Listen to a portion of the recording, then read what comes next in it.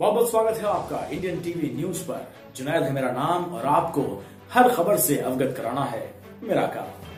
वाराणसी के सारनाथ थाना क्षेत्र के अंतर्गत अशोक नगर लक्ष्मी मंदिर तिराहे समीप सड़क समस्या व सीवर समस्या को लेकर क्षेत्र नागरिकों ने किया चक्का जाम। लोगों का कहना था कि यहाँ पर कई वर्षों से सड़क का कार्य अधूरा कर छोड़ दिया गया है और नाले का चेंबर भी खुला हुआ है, जिस पर ना तो अधिकारी ध्यान देते हैं और ना ही यहाँ के सभासद। कई बार जिला अधिकारी के वहाँ सभासद की आवाज़ आने पर शिकायत पत्र दिया गया, लेकिन कोई सुनवाई नहीं हुई, जिसे लेकर आप सभी महिलाएँ चक्का जाम कर विरोध प्रदर्शन कर रही हैं।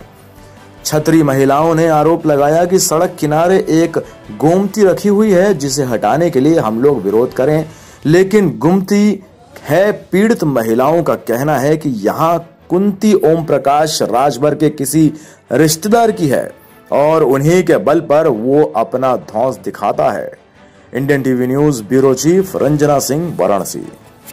इसी तरह की देश दुनिया के साथ अपने आसपास की हर खबर जानने के लिए देखते रहिए इंडियन टीवी न्यूज़ और हमारे चैनल को ज़रूर सब्सक्राइब करें। धन्यवाद।